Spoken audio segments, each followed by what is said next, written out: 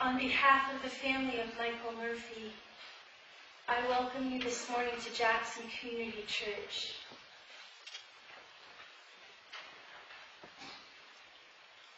This is a day when our hearts are broken. And it's okay to cry.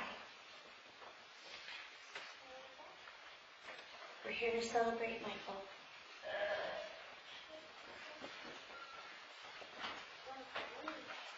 Ask that you gather now in a space of prayer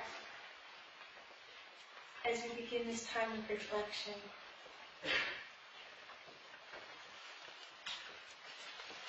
Oh God, as it says in the Psalms, you are the God of our going out and our coming in.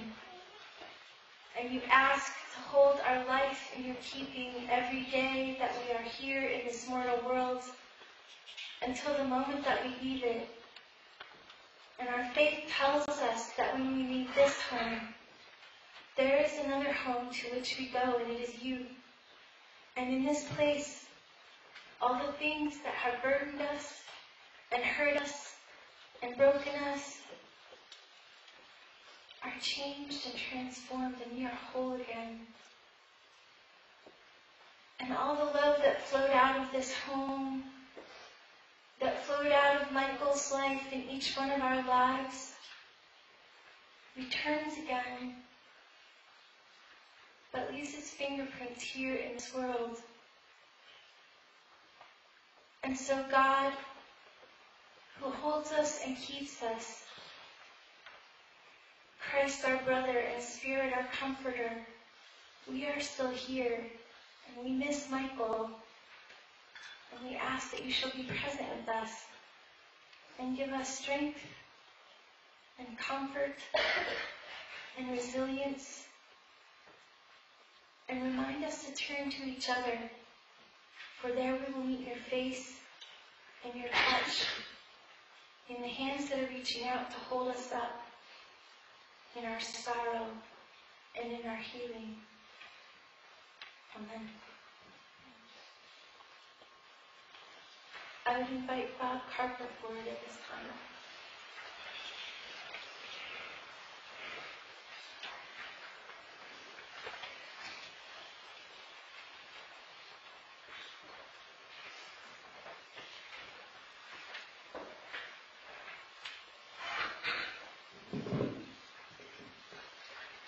Amy asked that I, that they sing a country song because Michael loved country music.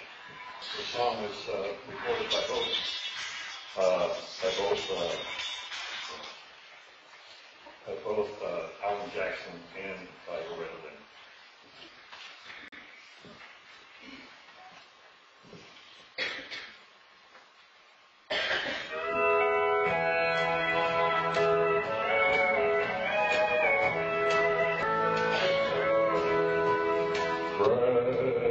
Precious memory, dancing angel, sent from somewhere to my soul.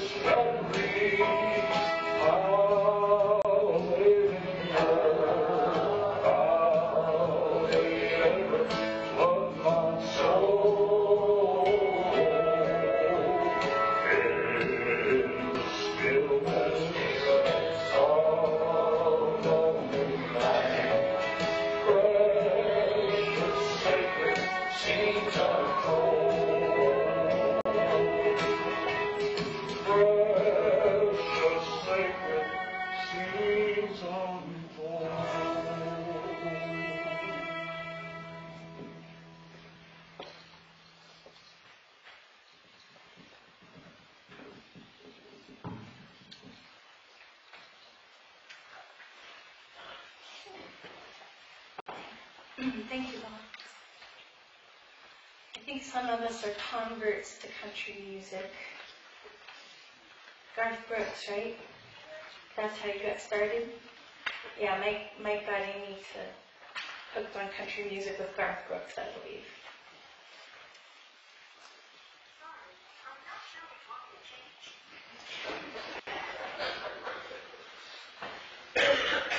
The voices of angels and the voices of, of the world with us today.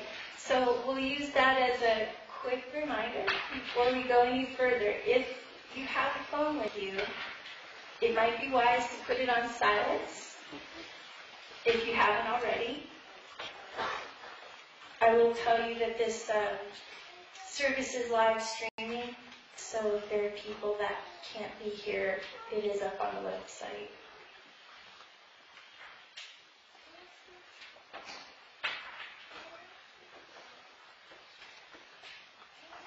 This is a reading from the Psalms.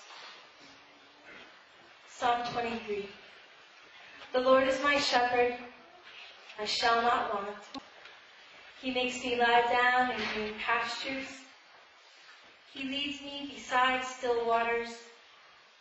He restores my soul. He leads me in right paths for his name's sake. Even though I walk through the darkest valley, I fear no evil, for you are with me. Your rod and your staff, they comfort me. You prepare a table before me in the presence of my enemies. You anoint my head with oil. My cup overflows. Surely goodness and mercy shall follow me all the days of my life, and I shall dwell in the house of the Lord forever.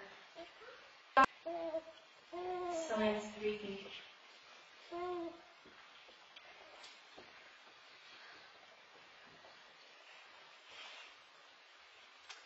And before we go any further, if you have a baseball cap and you want to put it on, I would say that today is a good day to put on your baseball cap. We also have people here in their scouting regalia because Mike was a scout leader as well. So you'll see some familiar passions around you today. Amy, if you feel ready, we're going to go ahead and talk about Mike now.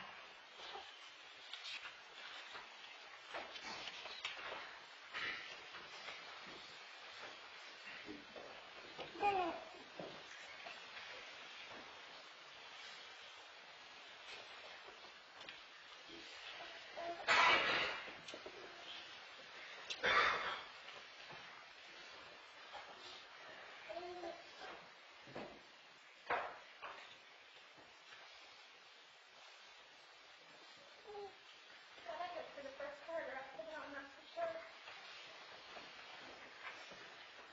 When I try to capture the life of Mike Murphy in a few words, here are a few of the qualities that come to mind.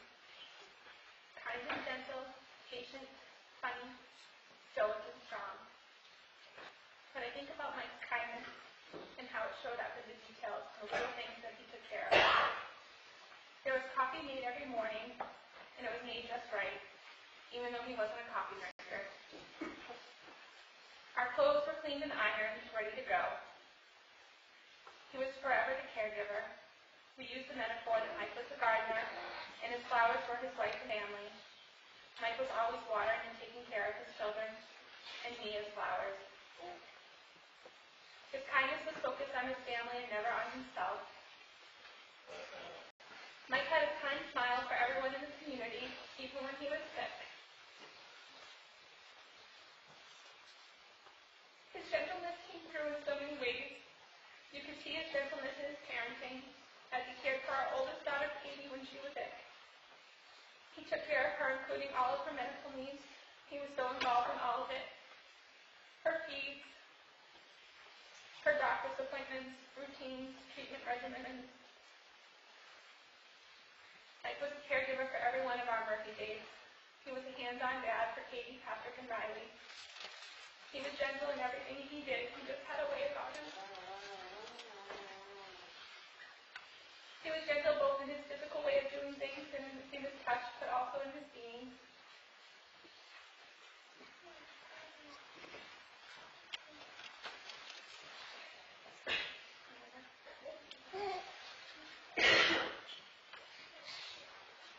You might not guess this because Mike came off as serious, but he was really fun and a funny guy.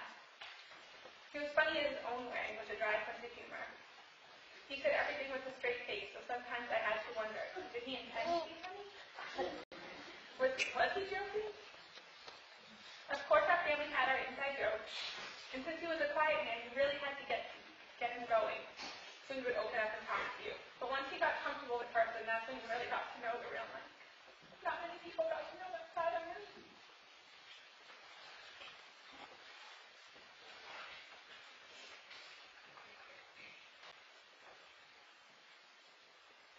Was the most patient man I've ever met. I say that because Mike put up with me.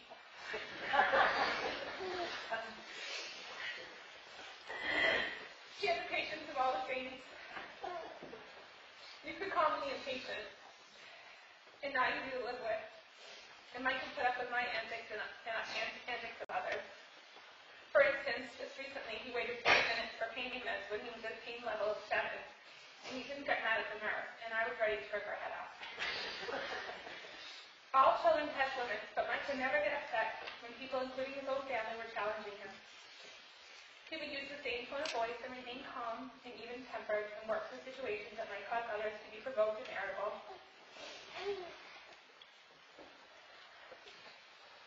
Through all of it, Mike was stoic and strong. Mike did not have an easy life. His motto was, it is what it is, accompanied by gratitude. We can't change it, so we gotta make the best of it. He was strong inside, emotionally and, psycho- and psycholo- psychologically. Whatever situation they were given. His life had been a difficult life. He's endured a lot of heartache. Yet he still found a way to see the positives and enjoy the goodness in our life together.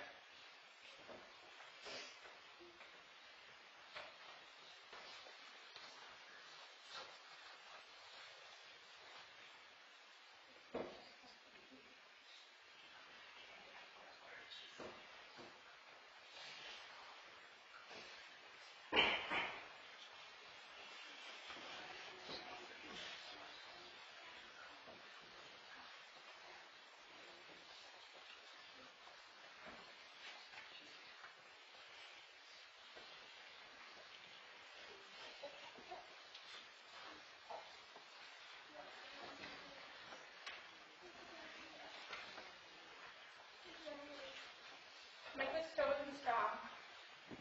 He was emotionally and psycholo- psych- psych- strong for me and the children right until the end.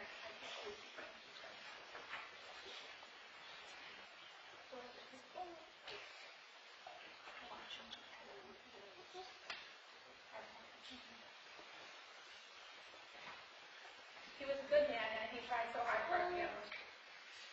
Though we hit roadblock after roadblock, he always put a positive spin on everything and assured me we'd be okay no matter what. No matter what hardship, Mike made us feel safe and helped us believe that things would be okay. Mike was a quiet, deep man and complicated. You all knew him by many names. If he was in trouble, he was probably Michael Francis Murphy. If he was your friend or cousin or your loved one, you might have called him Murph. His grandchildren called him Papa, and his children called him Daddy. He's been a son, a brother, an uncle, a cousin, a husband, a father, and a grandfather.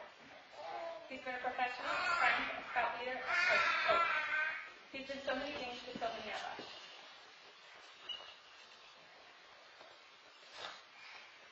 It's impossible to sum up his life in just a few moments of talking to you about him. Each of us knew him in, his, in our own way, and you have your own stories about him.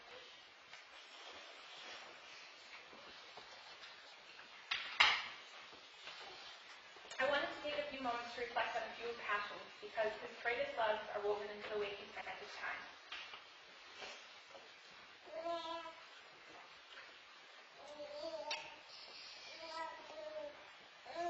Merck was an amazing father. His love for his children was fearless and fierce. Before we were married, I knew he would be, he, I knew he would be a good dad because he was already a wonderful dad to his older daughter Jennifer and his sons Michael and Justin, two of whom are at the service today and one of whom cannot be here. Mike's bond with each of our clan and American children was beautiful. He was a daddy's girl from day one.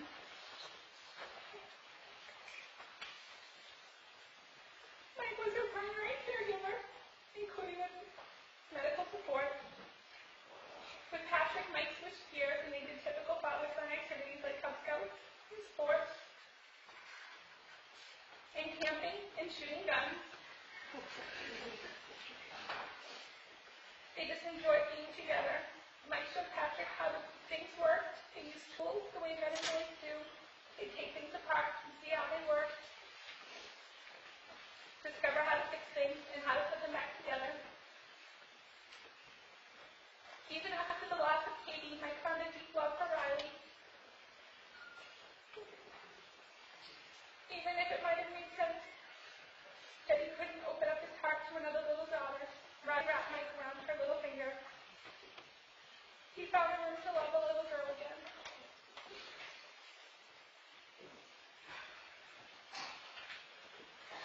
Now, in the middle of the night, she cried out for Daddy, not Mommy.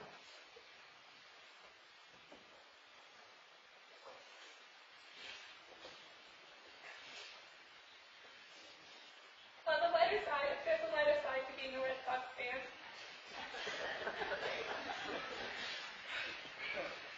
Murphy was an avid Red Sox fan. He was a fan for life. He was forever let down until they won the World Series in 2004. Before kids, we used to enjoy going to a lot of Red Sox games. We took Katie and Patrick to the Red Sox games as well. Curt Schilling and David Ortiz, Ortiz were two of his favorite players. The Bloody Sock, of course, is a familiar story in our house, epitomizing grit, perseverance, and triumph. Some of his passions were not shared equally with the whole family. For instance, Mike was a fan of Star Wars. This was something he shared mostly with Patrick.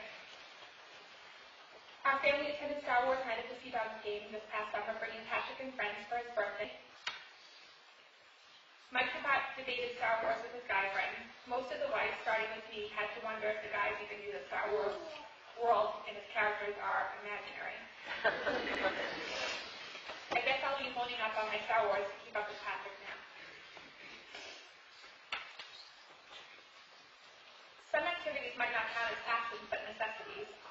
Mike was the cook in our family, whether we liked it or not. Mike was good at it, and he was the family's primary cook. Mike was proud of the things he did with the children. For instance, Mike was a Cub Scout leader. He was the only adult willing to put on the full uniform and sit on the float parade in full regalia. It offered a great way to bond with our son. It was also an activity carried over from his own childhood. Scouting fosters Mike and Patrick's love of camping. Now let's talk about camping. That was another activity about which Mike and Patrick were most enthusiastic. Mark and Patrick camped with the Scouts and also we camped as a family.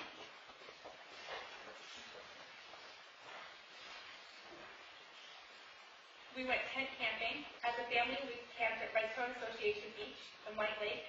I admit that I liked White Lake more because we had a nearby bathroom and our friend's beautiful camper. Merck and Patrick also had father-son scouting experiences at the Museum of Science in Mountain Pond in November. In November, they went outside camping. Snowing in November. They experienced indoor camping and outdoor camping through scouting. Our story ended too soon. We didn't have all the time we wanted or deserved. We had more to say to each other, and more experiences to have, and more memories to make. But here we are. So I'll start back where I began. The Murphy family is a garden Mike tended. His younger children will grow up to be inquisitive young men and women, strong and curious. And because of my constancy and caregiving, they will know that they have been well loved. His greatest passion, it turns out, was to love and care for his family. we are her sto- story.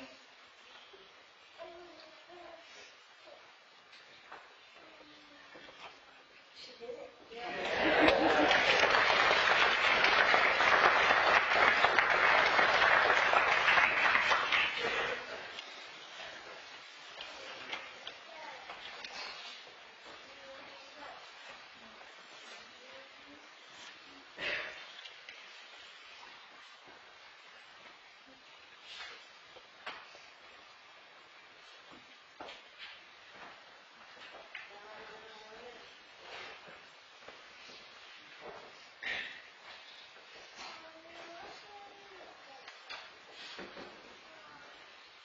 I hope that everyone has a stone in their hand. Is there anyone who's missing a stone?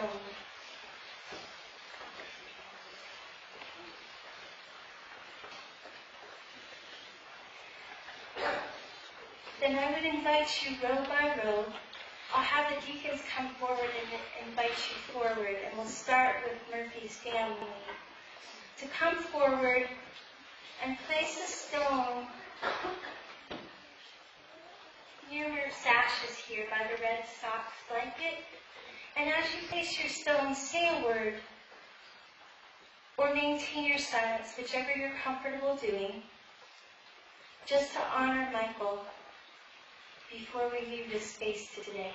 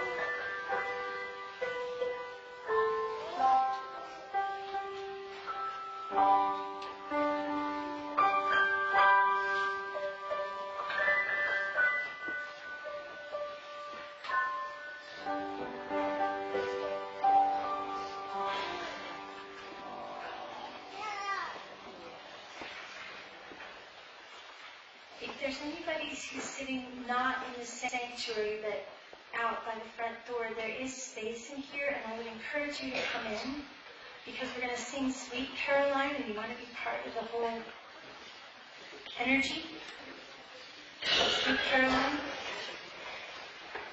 So, Sweet Caroline, you guys think we should stand up for Sweet Caroline?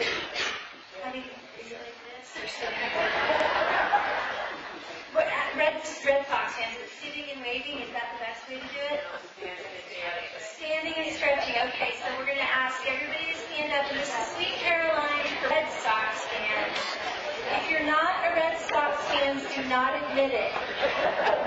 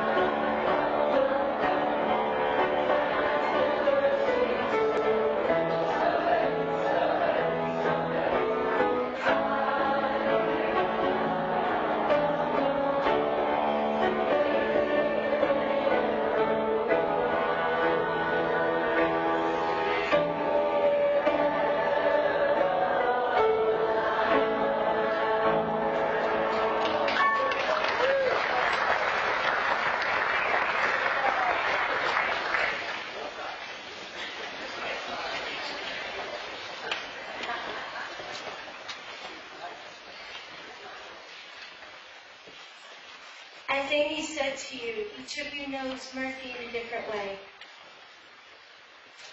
And we are each touched by his story, and we are each part of his story. And his story is marked by the joy of moments like Sweet Caroline. And sorrow of saying goodbye when no one was ready to do it. And so in this space, when we sing, we sing with joy for his life and gratitude for every breath and every moment and every year that he was able to be here. And we sing because we're sad, but we know that we are designed for joy and that there will be a time of healing and it will find us and surprise us. And Murphy's love is still here among us, still touching us and shaping us and helping us grow up and go out into the world and be able to find our own passions and tell our own stories.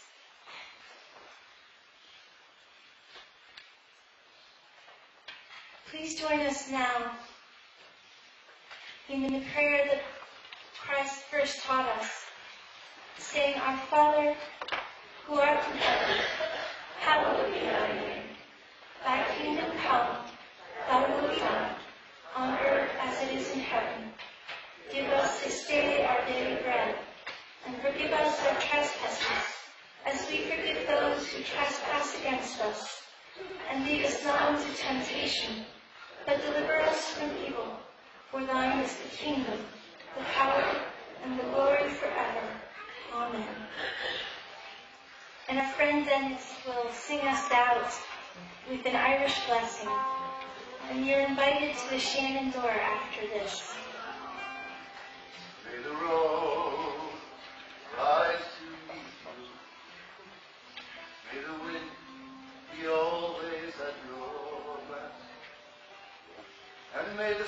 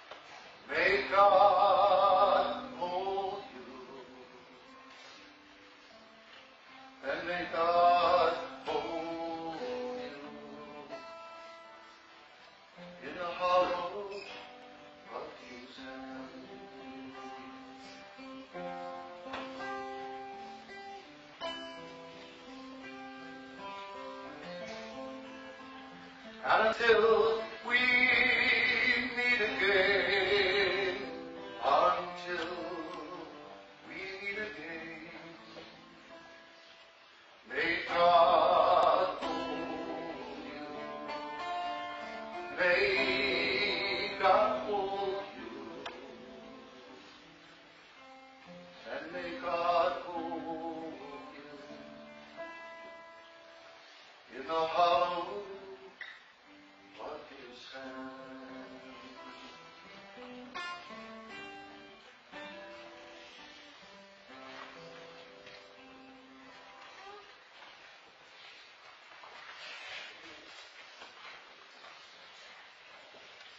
Brothers and sisters,